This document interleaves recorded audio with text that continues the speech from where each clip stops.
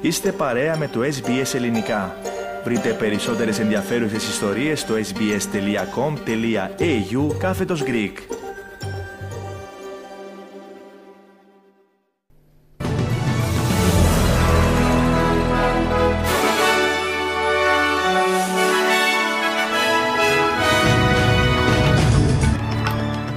Αντίθετα στην απόβαση κυβέρνησης, χιλιάδες μέλη του SFMU βγήκαν στους δρόμους. Πλαφών στον αριθμό φοιτητών εξωτερικού σχεδιάζει η κυβέρνηση.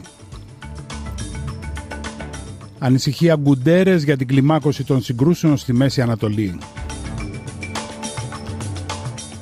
Νέα επίθεση στην Ουκρανία, εκρήξεις στο Κίεβο.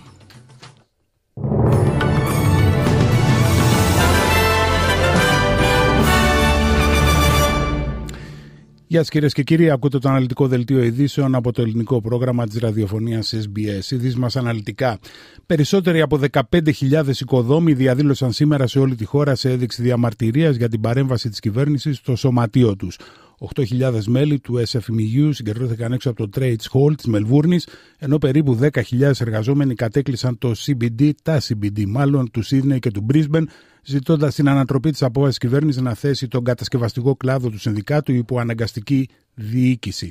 Οι διαδηλωτές κινδυνεύουν να τους επιβληθεί πρόστιμο από την Υπηρεσία Επιτήρησης Βιομηχανίας αν εγκαταλείψουν την εργασία τους για να συμμετάχουν σε συγκεντρώσεις, καθώς η δράση είναι μη προστατευμένη. Ο Πρωθυπουργό Άνθονη Αλμπανέζε λέει ότι η κυβέρνηση δεν θα αλλάξει την απόφασή τη που πιστεύει ότι είναι για το καλό του κλάδου. If there is unprotected uh, industrial action, then there are consequences for that. The government is not for turning, and nor is the Australian public. Uh, they want to see uh, this industry cleaned up. They want to see uh, good unions and good businesses getting on with their job on a day to day basis. And so uh, the administrators are in place, they're in place for some period of time. That will leave an industry that is better off. Στο ίδιο μήκος κύματος κινήθηκε και η Υπουργός Στέγασης Κλερονίλ, δηλώνοντας την απόφαση κυβέρνησης να θέσει το Σωματείο Οικοδόμων υποκαθεστώ αναγκαστικής διοίκησης. Ο Υπουργός λέει ότι ο κλάδος χρειάζεται ένα λειτουργικό αξιόπιστο σωματείο προκειμένου να αντιμετωπιστεί η κρίσιμη έλλειψη κατοικιών σε όλη τη χώρα. Σήμερα, ο Υπουργός πρόκειται να συναντηθεί με τους πρέμιερ των πολιτιών και επικρατιών για να συζητήσει το θέμα, ενώ ταυτόχρονα η κυβέρνηση προγραμματίζει την κατασκευή 1,2 εκατομμυρίων κατοικιών στα επόμενα πέντε χρόνια σε ολόκληρη τη χώρα.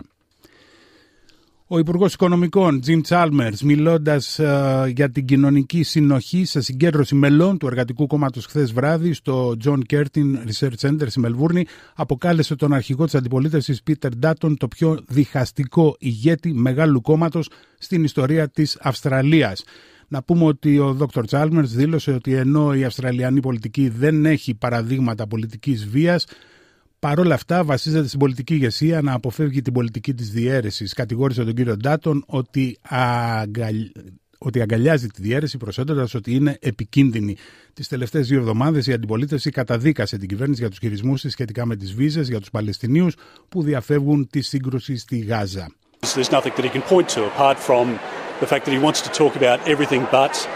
his failure in the economy. Now, if Australians were doing it so well and the economy was running you know, as great as Jim Chalmers claims it is, why is he dedicating a speech to me? It seems when you have a look at the Labor Party at the moment, you've got Tony Burke saying, look at me, you've got Bill Shorten saying, look at me, you've now got Jim Chalmers saying, look at me. Όπως ακούσατε, ο αρχηγός της αντιπολίτευσης, ο Πίτερ Ντάτον, είπε ότι οι κατηγορίες είναι αβάσιμες. Η κυβέρνηση θα περιορίσει τον αριθμό των φοιτητών εξωτερικού σε 270.000 το επόμενο έτος, ενώ 145.000 θέσεις θα αφορούν μόνο τα κρατικά πανεπιστήμια. Ο Υπουργός Τζέισον Κλέρ λέει ότι τα ανώτατα όρια θα διασφαλίσουν τη βιωσιμότητα του τομέα εκπαίδευσης στο μέλλον, ενώ η κυβέρνηση ταυτόχρονα προσπαθεί να περιορίσει τη μετανάστευση προς την Αυστραλία, αφού οι αυξήσεις αυξήθηκαν κατά 73% το προηγούμενο οικονομικό έτος. Τα πανεπιστήμια αντιδρούν στη δημιουργία πλαφών ανωτά των ορίων, λέγοντας ότι θα πλήξουν τα ιδρύματά τους για την ευρύτερη οικονομία της Αυστραλίας. Νέα στοιχεία δείχνουν ότι τουλάχιστον τρεις Αυστραλοί χάνουν τη ζωή τους στους δρόμους κάθε μέρα, ενώ ε, ένας χάνει τη ζωή του κάθε 8 ώρες σε τροχαία δυστυχήματα σε ολόκληρη τη χώρα και η νέα έκθεση δείχνει ότι ο αριθμός αυτός συνεχώς αυξάνεται. Τα στοιχεία συνέλεξε η Αυστραλιανή Ένωση Αυτοκινήτου δείχνουν ότι πέρσι σημειώθηκαν 1.310 θάνατοι σε τροχαία ατυχήματα, αριθμός αυξημένος κατά 11,7% σε σχέση με το προηγούμενο οικονομικό έτος. Από αυτούς που έχασαν τη ζωή τους, 531 ήταν οδηγοί, έναντι 218 που ήταν επιβάτες, ενώ οι 155 ήταν πεζοί. Οι υπόλοιποι θάνατοι αφορούσαν μοτοσυκλετιστές και ποδήλατα. Να πούμε ότι η μείωση κατέγραψε μόνο η Τασμανία και η περιοχή πρωτεύουσης. Η Singapore Airlines θα είναι η πρώτη διεθνής αεροπορική εταιρεία που δηλώνει πως θα επιχειρεί από το αεροδρόμιο του Western Sydney. Η Qantas έχει ήδη δεσμευτεί πως θα είναι ο κύριος χρήστης του νέου αεροδρομίου, το οποίο αναμένεται να λειτουργεί στο Sydney στα τέλη του 2026. Η εκτιμόμενη κίνηση επιβατών για το νέο αεροδρόμιο αναμένεται να είναι 10 εκατομμύρια επιβάτες το χρόνο. Το αεροδρόμιο θα λειτουργεί 24 ώρες την ημέρα, χωρίς απαγόρευση κυκλοφορίας για την αποφυγή θορύβου τα βράδια. Ο Πρωθυπουργό Άνθονι Αλμπανίζη λέει ότι το αεροδρόμιο θα οθεί στην οικονομία του Δυτικού Σίδνεϊ. Well, this is an exciting day because Western Sydney International Airport is ready for takeoff. Western Sydney International Airport will drive jobs and the economy here in Western Sydney. If you want a catalyst for investment, build an airport.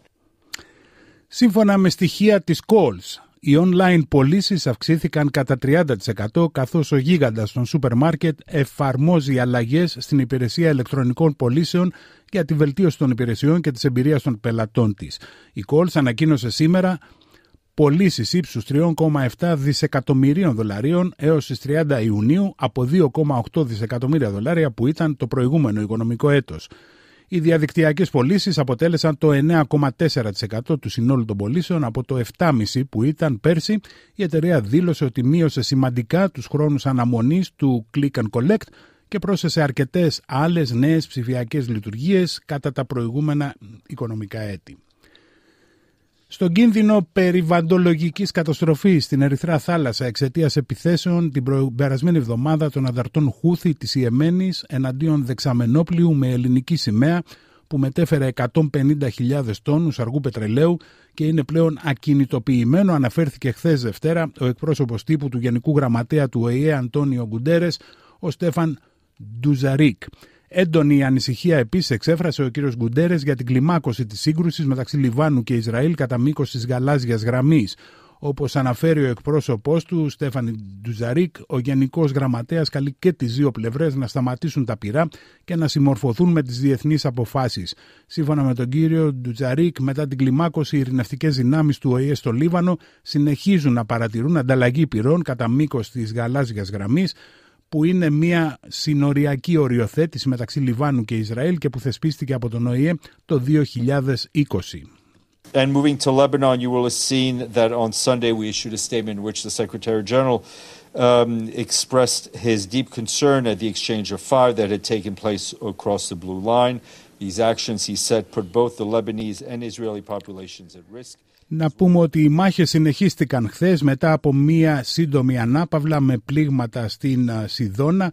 Πέντε ακόμα Παλαιστίνοι σκοτώθηκαν σε χτυπήματα σε προσφυγικό καταβλισμό στην Δυτική Όχθη. Οι σιρήνες ήχησαν πάλι στην Ουκρανία τις πρώτες πρωινές ώρες σήμερα προειδοποιώντας για αεροπορικές επιδρομές σε μεγάλο μέρος της χώρας Μόλις χθες υπήρξαν μαζικά ρωσικά πλήγματα εναντίον ενεργειακών υποδομών που άφησαν πίσω 7 νεκρούς. Η Ουκρανική πολεμική αεροπορία επιβεβαίωσε την απογείωση βομβαρδιστικών Τουπόλεφ από την αεροπορική βάση του Ένγκελς Δημοσιογράφοι του πρακτορείου Reuters μεταδίδουν πως ακούστηκαν τρεις σειρές εκρήξεων στο Κίεβο. Παραμένει άγνωστο αν επρόκειται για καταρρίψεις στόχων ή πλήγματα. Η Ουκρανία ετοιμάζεται και για τρίτο χρόνο σκληρού χειμώνα, όπως δήλωσε στους δημοσιογράφους εκπρόσωπος του Κρεμλίνου, ο Ντμίτρι Πεσκόφ. Η χθεσινή μαζική επιδρομή είναι η απάντηση της Ρωσίας στην πρόσβαση στη εισβολή της Ουκρανίας στην περιοχή του Κούρσκ. Ο κύριος Πεσκόφ είπε ακόμα πως το ζήτημα των διαπραγματεύσεων με την Ουκρανία έχει χάσει πλέον τη σημασία του. Να παραμείνει η έδρα της επικράτειας στους απόδημους ζητούν με ανακοίνωσή τους οκτώ οργανώσεις του ΣΥΡΙΖΑ στο εξωτερικό. Στην ανακοίνωσή τους, οι οργανώσεις του κόμματος ζητούν να συνεχιστεί η εκπροσώπηση του απόδημου ελληνισμού στην κοινοβουλευτική ομάδα του ΣΥΡΙΖΑ, όπως σημειώνεται η παρέτηση του κυρίου Ηλιόπουλου για προσωπικούς λόγους και η επιθυμία του να αντικατασταθεί από τον έτερο απόδημο Έλληνα του ψηφοδελτίου, δηλαδή τον πρόεδρο του ΣΥΡΙΖΑ, τον κύριο Στέφανο Κασελάκη, αντανακλά τη βούληση των χιλιάδων ψηφοφόρων του κόμματός μας και ιδιαίτερα των αποδήμων, δηλώνει η επιστολή που έστειλαν. Την ανακοίνωση υπογράφουν οργανώσεις μελών του ΣΥΡΙΖΑ εξωτερικού Βελγίου, Βουλγαρίας, Βόρειας Ρουμανίας, Βεσφαλίας, ΕΣΥ, Ηνωμένου Βασιλείου, Ιρλανδίας, Ηνωμένων Πολιτειών Αμερικής, Σκανδιναβίας και Κύπρου. Και στη Θεσσαλονίκη θα βρεθεί ο Πρωθυπουργός Κυριάκος Μητσοτάκης εν ώψη της Διεθνούς Έκθεσης και θα συναντηθεί με τους εκπροσώπους των παραγωγικών φορέων. Σε λίγη ώρα από τώρα ο Πρωθυπουργός θα συναντηθεί στο Υπουργείο Μακεδονίας Θράκης με βουλευτές Νέας Δημοκρατίας της πρώτης και δεύτερης περιφέρειας Θεσσαλονίκης. Συνάντηση που αναμένεται να κρατήσει περίπου 45 λεπτά. Μετά αναχωρεί αμέσως για το Μέγαρο Μουσικής, όπου θα συναντηθεί με παραγωγικούς φορείς της Βόρειας Ελλάδας, επιστημονικούς φορείς και εκπροσώπους της τοπικής αυτοδιοίκησης. Λίγο πριν θα παραστεί σε ειδική εκδήλωση με θέμα την εθνική στρατηγική για την περιφερειακή ανάπτυξη και την παρουσίαση της ψηφιακής πλατφόρμας erga.god.gr στο Μέγαρο Μουσικής.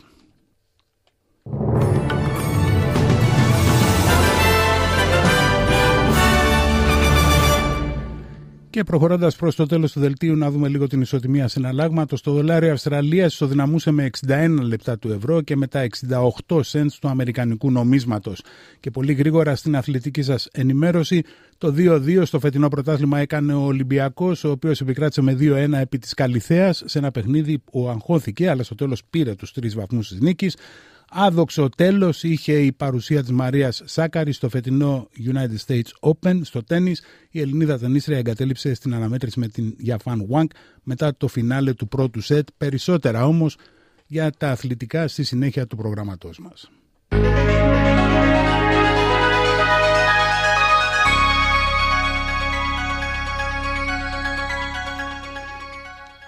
Ολοκληρώνουμε το σημερινό μας δελτίο με την πρόγνωση του αυριανού καιρού στις μεγάλες πόλεις της Αυστραλίας και στην Ελλάδα.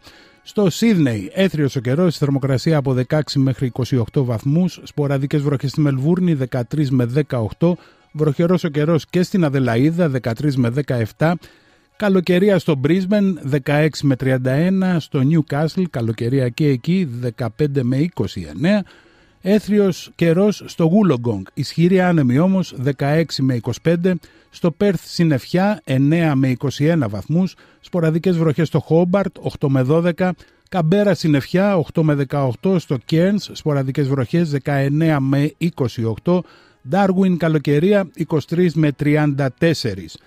Την ίδια θερμοκρασία θα έχει και η Αθήνα, 23 ελάχιστη με 34 βαθμούς η μέγιστη θερμοκρασία, παρόμοιος και ο καιρός στη Θεσσαλονίκη με λίγη όμως περισσότερη συννεφιά, 23 με 32 και στη Λευκοσία αραιή συννεφιά με τη θερμοκρασία να κυμαίνεται από 23 μέχρι 35 βαθμούς Κελσίου. Και με την πρόβλεψη του καιρού φτάσαμε στο τέλος του σημερινού δελτίου ειδήσεων, σύνταξη και παρουσίαση από το Μανώλη Μαυρομάτη. Ακολουθούν μηνύματα του σταθμού μας, στη συνέχεια πάλι με το θέμα καλό για τα υπόλοιπα θέματα της σημερινής μας εκπομπής. Από εμένα προς το παρόν, γεια σας. Επόμενη ενημέρωση με τίτλους κυριωτέρων ειδήσεων στις 4.30 και στις 5 το δεύτερο δελτίο της ημέρας.